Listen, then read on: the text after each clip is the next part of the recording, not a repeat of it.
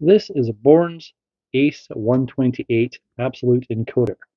It differs from a rotary encoder, which generates a quadrature signature and tells you how far it has turned and in which direction. An absolute encoder tells you where it is. The resolution on this device is 128 positions in the circle. Uh, there are much more high resolution and much more expensive encoders on the market, but this is the cheapest one you can get, and uh, it's useful for uh, Arduino hobby electronics and other such projects. It's an electromechanical device uh, which has 10 pins on the back, and the 10 pins are 8 for data and 2 ground pins. And the internal contacts connect those together and generate uh, 256 different possible outputs, uh, which are translated into 128 different uh, values via a lookup table. Uh, there's a lot of coding involved in sorting the lookup table, and there's a lot of pins if you do this uh, to your Arduino. Uh, I've developed a library to handle all the software issues, so you can just wire one of these up and uh, use it in your Arduino projects. The uh, problem with the number of pins is solved by using these modules.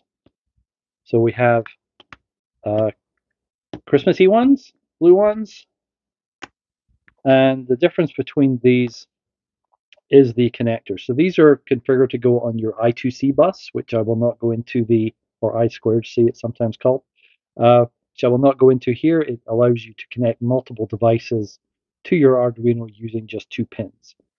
Um, different varieties here uh, provide you with uh, the 0.1 inch uh, pinout for standard uh, pins. And then you've also got a Grove connector here, the Seeed, Seeed Grove standard. And here you have positions to put your I2C pull-up resistors.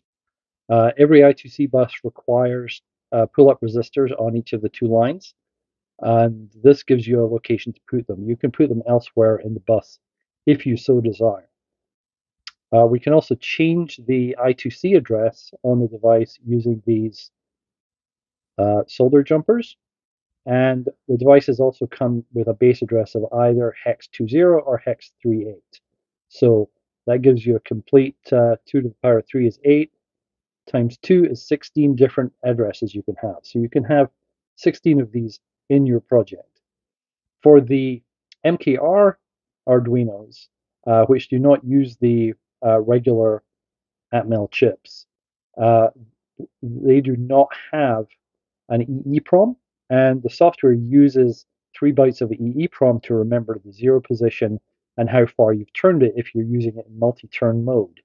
Uh, so there is an optional uh, EEPROM chip on here that the uh, can be the, the software supports if you're using one of those Arduinos. You don't need that option if you have a regular Arduino like an Uno, um, and you only need one of these per project because there's 2,000 bytes of storage in there that you can use for other stuff.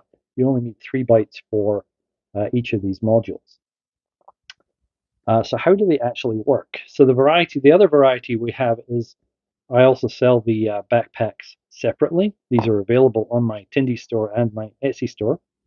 Um, so they are uh, available with backpack only if you've already purchased some of these from another location. Uh, so let's look at one in action. We'll move the knob over to the red one. And we'll bring over, we have an Arduino off to the side here with the software loaded. And the software I have here is my uh, testing software that I use when I make the modules. And we'll plug in our module, which goes up that way. And we'll reset the Arduino. And the first thing it comes up is it's asking for, so this is doing a circuit test, in fact, for all the pins to make sure that they're all the contacts are changing. And then we get into our position here. So we'll set this to zero. So we have position zero. So you'll notice on my knob, uh, I want zero to be at the top, right? So zero is not at the top.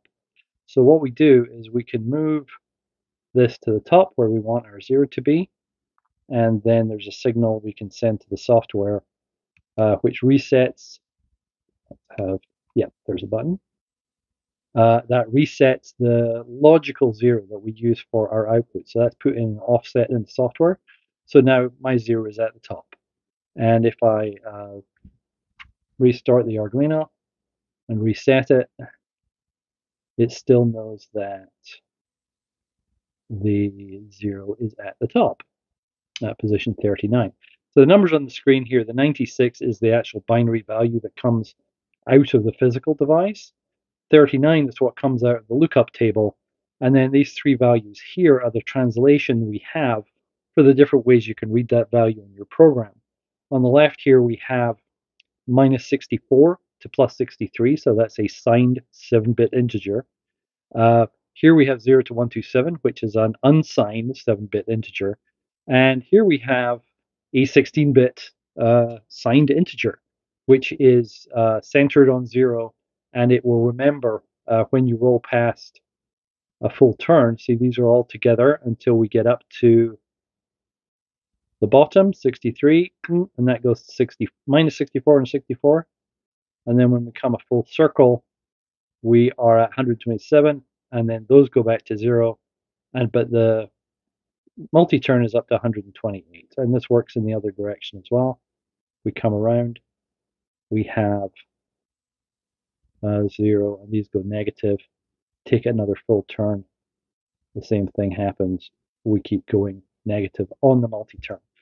So you can use these in place of a potentiometer if you want to have a digital value, you want to be able to do multiple turns and know how far you've gone.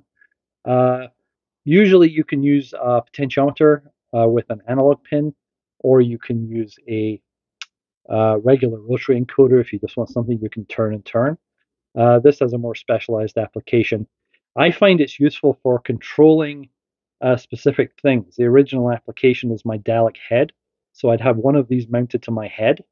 One of them is mounted to the motor that controls the Dalek head, so when I turn my head, the Dalek head moves the same angle, so the head follows my head.